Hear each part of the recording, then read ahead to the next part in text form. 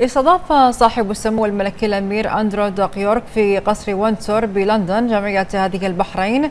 استعرض خلالها المجتمع الإنجليزي التجربة البحرينية الرائدة في مجال التسامح والتعايش بين الأديان والتي وصفها سموه بالمذهلة. وجاءت هذه المبادرة الكريمة بعد الزيارة والحفاوة التي تلقاها بل تلقاها أمير يورك أثناء زيارته الأخيرة لمركز الملك حمد العالمي للتعايش السلمي وقال دوك يورك إن النموذج البحريني للتعايش والسلام نجح في تقديم تجربة يحتذى بها على مستوى العالم ويجب على الجميع أن يتعلم منها. من جهته قال معالي الشيخ فواز بن محمد الخليفة سفير مملكة البحرين في المملكة المتحدة إن البحرين مجتمع متعدد الديانات. يحتوي على ملل مختلفة تتعايش بسلام وتناغم وتفاهم مضيفا أنه يتم في البحرين بناء أكبر كنيسة في الجزيرة العربية على أرض منح جلالة الملك حمد بن عيسى الخليفة. من جهتها قالت نائب رئيس مركز الملك حمد العالمي للتعايش السلمي ورئيس جمعية هذه البحرين بيتسي ماثسيون إن الجمعية نقلت إلى عدد من عواصم العالم فلسفة جلالة الملك المفدى نحو عالم يتعايش في أجواء من الألفة والمحبة بعيدا عن التعصب والتشدد والكراهية. ولهذا تم تدشين كرسي باسم حضرة صاحب الجلالة في جامعة لاسبينزا لتدريس الحوار والسلام بين الأديان. هذا وقد تم عرض فيديو عن مركز الملك حمد العالمي للتعايش السلمي. قلعة ويندسور الملكية التي احتضنت تعريف مركز الملك حمد العالمي للتعايش السلمي كانت شاهدة على زيارة جمعية هذه هي البحرين بدعوة ملكية خاصة من قبل سمو الأمير البريطاني أندرو الذي أكد أن بلاده لديها الكثير كي تتعلمه من البحرين في مجالات التعايش والتسامح. This is uh, as a result of the visit that I was in Bahrain a couple of months ago. هذه المناسبة نتيجة لبعض ما دار في زيارتي الأخيرة لمملكة البحرين. هذه القيم والمبادئ. كان والدي في هذا القصر قبل أكثر من خمسين عاما يقوم باحتضانها. بل وكان يعمل بشكل مشترك مع مملكة البحرين وتبني كل ما يتعلق ببناء أرضية مشتركة للتعايش والحوار ما بين الأديان.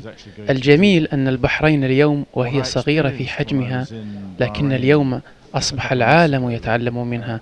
وقد أخذت زمام المبادرة من خلال مركز الملك حمد العالمي للتعايش السلمي وباتت تجربتها ذات ميزة تستحق أن تظهر أمام الجميع.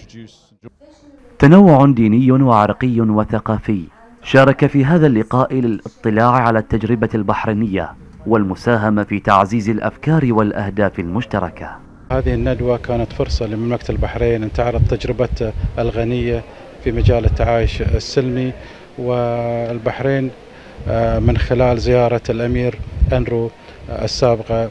أعجب بهذه التجربة وأراد أن آه، المجتمع البريطاني أن يرى هذه التجربة وهي فرصة للبحرين أن تعرض آه، تجربتها وخصوصا أن جاءة الملك حفظه الله ورعاه أنشأ مركز عالمي للتعايش السلمي وهذا المركز آه، الملك حمد اليوم قدم آه، نموذج عن ما تقدمه مملكة البحرين لمختلف الديانات الموجودة في مملكة البحرين.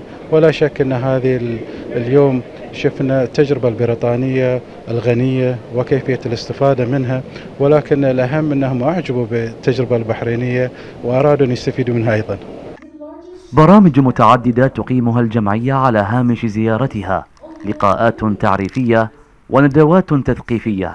كل ذلك من أجل ترويج قيمها النبيلة. Uh, كان شرف لي حضور هذه الفعالية وأرحب بكل الأصدقاء الجدد من مملكة البحرين الذين عرضوا تجاربهم المميزة على جميع المستويات الحقوقية والإنسانية. ومن هذا المكان نحن بالتأكيد نسعى لتحقيق طموحاتنا سوية أنا سعيد بلقاء مجموعة كبيرة من مختلف الأديان كالمسيحية واليهودية والهندوس وغيرهم بمملكة البحرين. رائع هذا التنوع الثقافي والحضاري. قد عرضنا اليوم تجربتنا الخاصة في مسائل التعايش إذ أن الاختلاف في الملل والطوائف لا يضر مع وجود أسس التعايش المبنية على السلام والمحبة وذلك ما جئنا به فعلا هنا في هذا المكان. رفع صوت الوحدة ودقت أجراس السلام وشهدت قلعة وينسور هذا التجمع الإنساني الذي جاء من كل ديانة وملة حتى ينقش نهجه في لوحات هذا العالم كافة. لتلفزيون البحرين صالح يوسف.